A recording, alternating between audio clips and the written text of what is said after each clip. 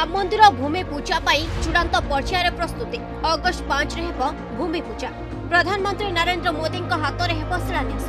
ଅଯୋଧ୍ୟାରେ ଭବ୍ୟ ରାମ ମନ୍ଦିର ନିର୍ମାଣର ଭୂମି ପୂଜନ ପାଇଁ ଅଗଷ୍ଟ ପାଞ୍ଚ ତାରିଖ ଧାର୍ଯ୍ୟ କରାଯାଇଛି ଦେଶର ପ୍ରଧାନମନ୍ତ୍ରୀ ନରେନ୍ଦ୍ର ମୋଦି ଭୂମି ପୂଜନ କରିବେ ଶ୍ରୀରାମ ଭୂମି ତୀର୍ଥ କ୍ଷେତ୍ରର କୋଷାଧ୍ୟକ୍ଷ ଗୋବିନ୍ଦ ଦେବଗିରି बुधवार सूचना देखते कार्यक्रम शहे पचास अतिथि मोट दुईश जन को आमंत्रित कर समय सामाजिक दूरता को अधिक गुरुत्व दिज्व भूमि पूजा पूर्व प्रधानमंत्री मोदी भगवान राम एवं भगवान हनुमान का पूजा अर्चना करेंगे देशर सबु मुख्यमंत्री मानू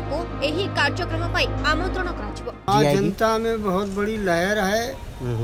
और सभी खुश हैं अयोध्या भी बहुत चाह रहे हैं कि जल्दी जल्दी प्रधानमंत्री आए और मंदिर का भूमि पूजन करें शिला न्यास हो चुका था उन्नीस सौ में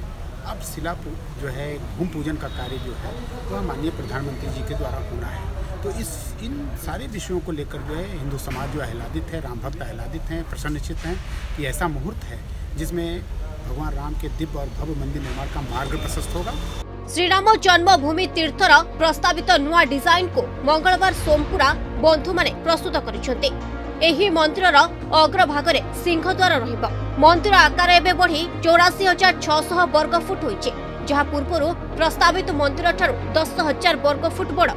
এঠারে কীর্তন এবং প্রার্থনা সহ মণ্ডপর ব্যবস্থা রয়েছে পূর্বর মন্দির ক্ষমতা কোড়ি হাজার ভক্ত রয়েছে বেড়ে এবে পচাশ হাজার অধিক ভক্ত এঠারে পূজার্চনা করে পারে ভূমি পূজনর এই কার্যক্রমে অযোধ্যা আন্দোলন সহ জড়িত প্রমুখ সন্থ এবং নেতা আমন্ত্রিত করা